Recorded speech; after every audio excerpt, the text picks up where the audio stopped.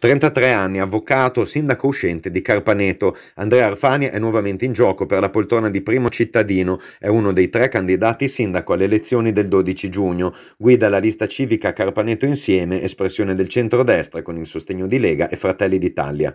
La decisione di ripresentare la, la, candidatura per la seconda tornata deriva fondamentalmente da due aspetti. Il primo, quello se vogliamo più tecnico, che eh, consiste nella volontà, nel desiderio di portare a termine tante cose che sono iniziate. Noi in questi mesi eh, abbiamo, eh, oltre alle cose già fatte e completate negli anni passati, abbiamo avviato tanti progetti, tanti percorsi eh, che stanno, hanno già trovato la propria origine e che si stanno sviluppando. Dall'altra parte, forse soprattutto per un motivo diciamo emotivo personale, è il fatto che durante questi cinque anni e in particolare durante gli anni terribili della pandemia è, eh, si è creato un legame verso il paese, verso le persone di Carpaneto che mi hanno dato la spinta decisiva per quindi confermare la mia disponibilità.